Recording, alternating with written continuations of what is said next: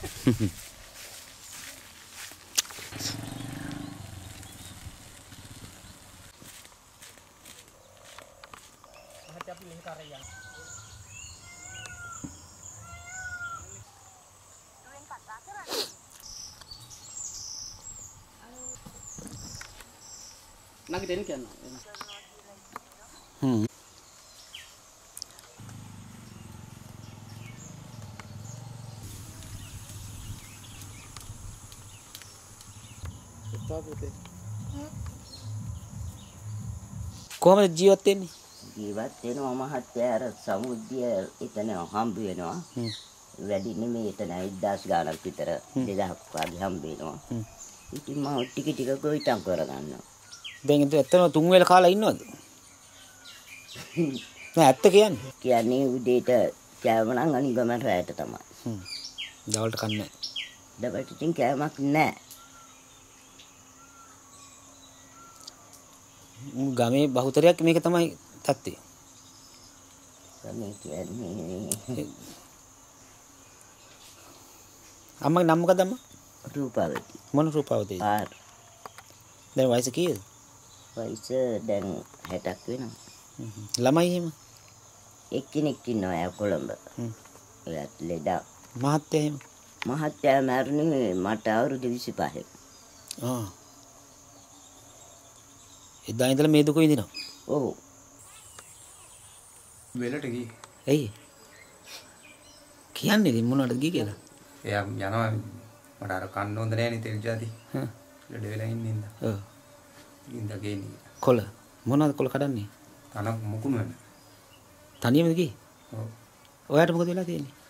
මට පණ නැහැ මට. ඒ මොකද? නෑ දැන් අවුරුදු එකමාරක් තිස්සේ මේ ස්පිරිතාලේ ඉඳලා තාම බේත් කරනවා කකුල් නෙමෙයි පණ නැහැ තාම.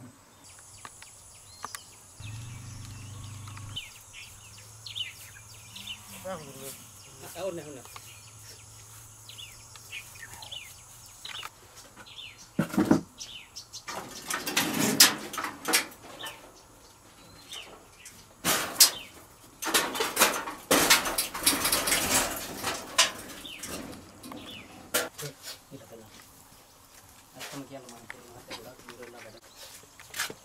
මේකද කුස්සිය.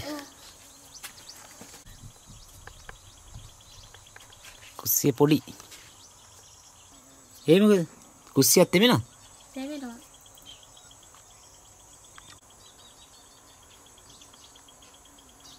ලයිට් තියනවද? ලයිට් නම් එහා පැත්තේ ගෙදරින් දීලා තියෙන එක ගලියන හින්දා අයියේ නෑ ගෙදරින්. නැත්නම් ඔයාලට ලයිට් නැහැ. ඈ. කියන්නේ දෙවිලක් හදනවද නැත්නම් තුන් වේලම උයනවද? උයන්නේ නෑ උදේට උයපුවාම ඒ දවල්ට කාලා අය රැයට කනකම් එහෙම ඉන්නවා යා. එහෙම දැන් හුරු වෙලා. ඔව්. වෙන අමතරව කිරි පිටි එහෙම. ඒ වන දෙන්නේ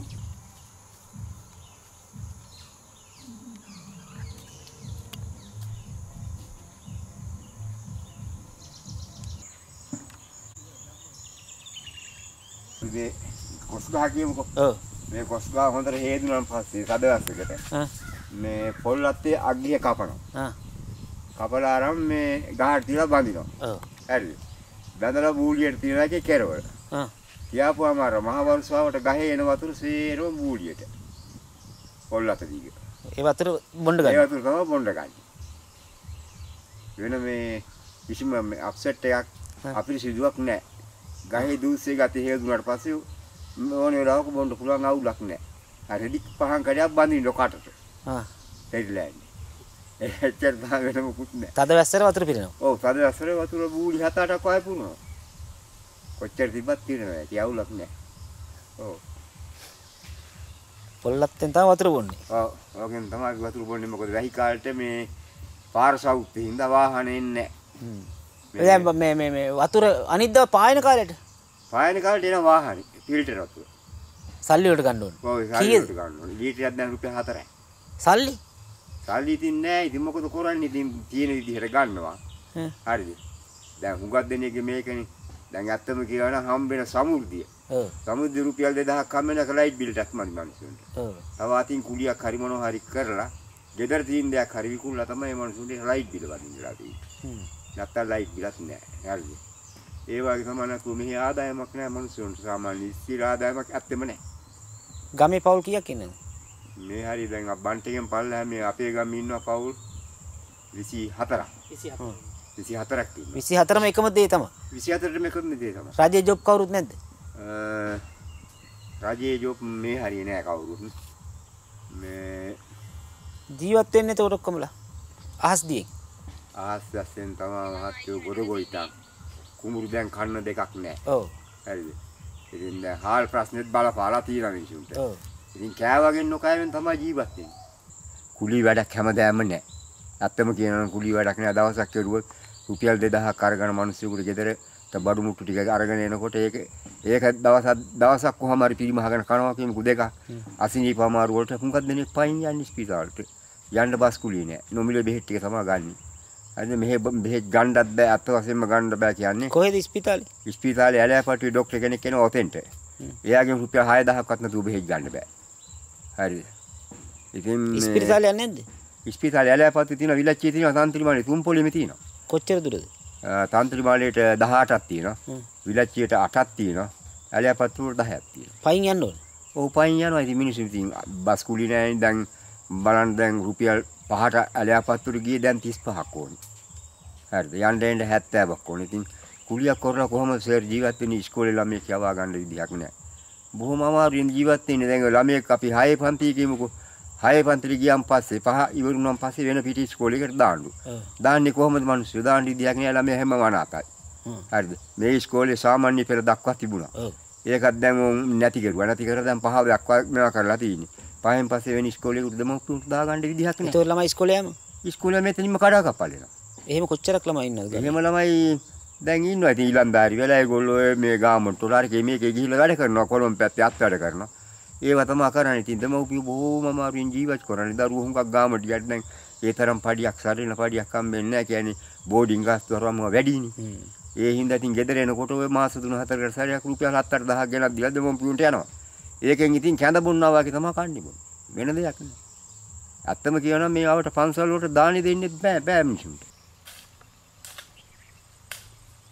මේ පාර කිසිම දවසක කිසිම ආණ්ඩුවකින් අපිට හදලා දෙන්නේ නැහැ. අපි කුලී වැඩ කරලා ජීවත් වෙන්නේ. අපිට වතුර ටිකක් නැහැ. ළමයි උදේ 6ට ගෙදරින් පිටත් වෙන්නේ ඔයාමඩු ඉස්කෝලේට යන්නේ 7 වෙනකොට. ඒ ගිහිල්ලා ආය හවස 4යි ගෙදරට එනකොට ළමයි ඉස්කෝලේ ඇරිලා. ඉතින් අපි හරි අසරණ වෙලා ඉන්නේ මේ පාර අපිට කිසිම ආණ්ඩුවකින් කිසිම දවසක කිසිම ආධාරයක් අපිට දීලා නැහැ සර්. ගමේ මොන වගේ දුෂ්කරතාවයක්ද විඳින්නේ මිනිස්සු? මාත්‍යවලින් දුක්ඛතා කියන සෑහෙන දුකකට පත් වෙනවා ඉතින් මිනිස්සු. නැති බැරි කන් කන්න බොන්න දේවල් වලින් ඉතින් වතුරෙන් ජලෙන් තමයි ගොඩක්ම අපහසුතාවයට පත් වෙලා තියෙන්නේ. සෑහෙන ඉතින් ආර්ථික ප්‍රශ්න තමයි ජීවත් වීම සඳහා ගොඩක් අමාරුයි ඉතින් මිනිසුන්ට ඉතින්. ඒ කියන්නේ රුපියල් 30ක් නැතුව ළමයා ඉස්කෝලේ යන්නේ. බෑ යවන්න බෑ රුපියල් 30ක් නෙමෙයි රුපියල් 50 ගන්න බස් කුලියට දවසකට ගන්නවා. යන්න එන්න. ඉතින් කොහෙන්ද අපි ඔය ඇටි හොයන්නේ ඕවා ඉතින්. ඒකයි ඉතින් සෑහෙන ඔබතුමාලාට මේකට පිට වෙන්න ඕනේ. ඔබතුමාලා තමයි නෑ මිනිස්සු. ගේ කැඩුවාලි. ඔව්. හරියට මේ කවද්ද දෙදස් විසි දෙකේ අප්‍රේල් දහතුන උදේ පාන්දර අලි කැඩුවේ. ළමයි මායි ගෙදර හිටියේ. මෙයා හිටියේ නෑ මෙයා කුලියට ගිහින්. එදා ආවේ නෑ නැවතුණා. පාන්දර පහට අලි කැඩුවා. ඒකටත් මහත්තයා හැම දෙයක්ම කෙරුවා සත පහක් තා දුන්නා. අම්බාන්න ඔබතුමා ගිහින් බොරු නම් ගේ ඇතුළ තෙමෙනවා. කී දෙනෙක් ඉන්නවද? මේකට පොන්දර ඉන්නේ. ඒකවල මහත් කවුරු කවුරුද ඉන්නේ ගෙදර? බබයි මහත්තයා කොහොමද? අයියෝ මොනවද ජීවත් වෙන්න කරන්නේ? කුලී වැඩ.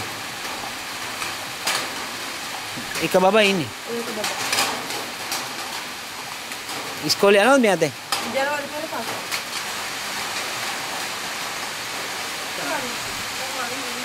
පස්සේ සුන්වහන්සේ හැටියට මේ ගම ගැන මොකද කියන්න තියෙන්නේ බුහන්සිට? වහන්සේලා හැටියට ඉතින් කියන්න තියෙන්නේ අසරණ මිනිස්සු කුලී වැඩෙන් තමයි ජීවත් වෙන්නේ. ඉතින් මේ දවස්වල අර කොරෝනා රෝගයෙන් පස්සේ බොහොම අ, අමාරුවෙන් තමයි මිනිස්සු ජීවිකාව ගෙවන්නේ. කුලී වැඩකුත් නැහැ හරියට. එතකොට හරියට ගියක් දොරක් හදාගන්න අ, මිලක් මුදලක් අතේ නැහැ. දැන් ඔබතුමා එනකොට දකින්න ඇති මේ පාරේ ඉන්න බෑ ආලි.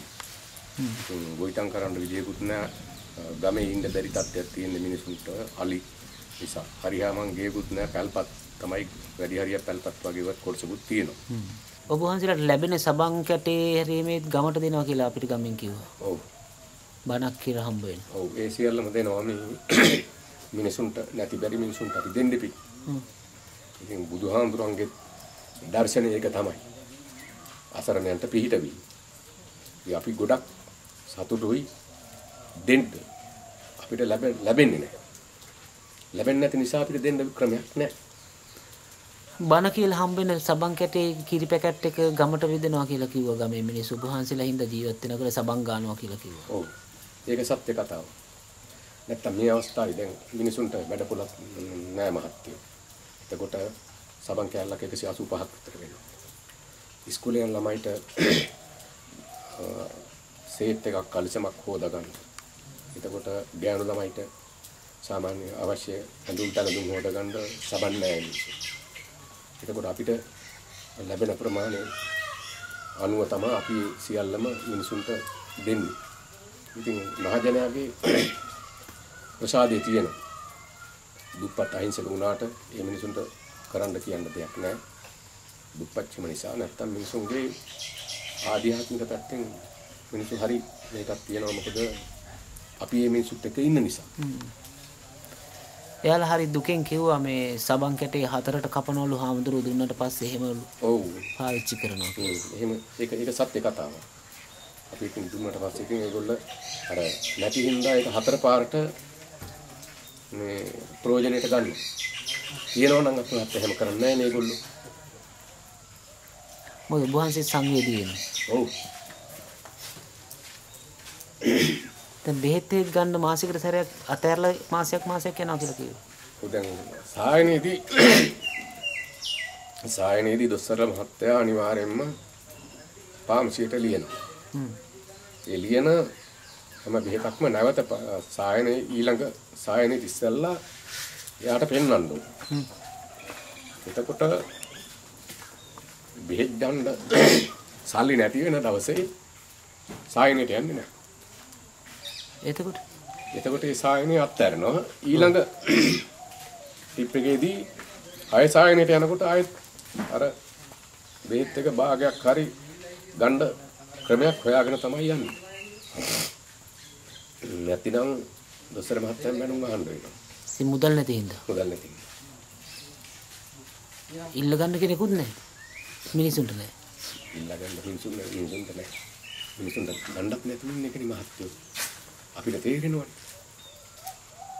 ඒකනේ ඇත්ත. ඉතින් අපි මේ කොච්චර කාලයක් මේ දුක විඳින්නද? ඕ ඉතින් මේ කොයි කාලයක් විඳින්න වෙයිද මරණකම් විඳින්න වෙයි. ඒ වුණත් මේකේ සතුටකුත් තියෙනවා මහත්තයා. මේ කණ්ඩ බොණ්ඩ නැති මිනිසුත් එක්ක ජීවිතේ අපේ බෝධිසත්වයන්න් වහන්සේ වුණා සියලු ශක්ති රාජසප අත්හැරලා මේකට ආවි. සියලු මනුෂ්‍යයන්ට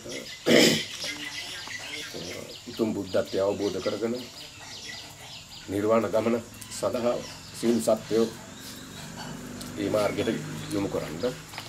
ඒ වගේ තමයි අඩුපාඩුකම් මැද තමයි මේ ගමන යන්නේ. පංගතසල මොනවද දානෙට හම්බ වෙන්නේ දැකලා තියන්නේ සාමාන්‍ය නෑ අපිට මඤ්ඤොක්ක හම්බ වෙනවා. එතකොට රොටි හම්බ වෙනවා. ඒ වගේ ඒවා තමයි.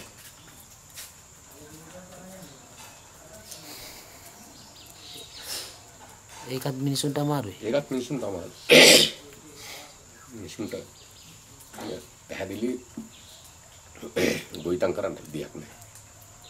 එතකොට වැඩක් පොලක් මොකුත් නැහැ ජීවත් වෙන්නේ බොහොම අමාරුයි. එතකොට හොඳ අපි මිනිසුත් එක්ක ඉන්න නිසා ගම රාරක් වලින් තොරයි. එතකොට මත්ද්‍රව්‍ය වලින් තොරයි. පොලිසියට කවදාකවත් පැමිණිලි යන්නේ නැහැ. ඒ විදිහට ගම හදාගෙන දුෂ්කරව ගමන යනවා.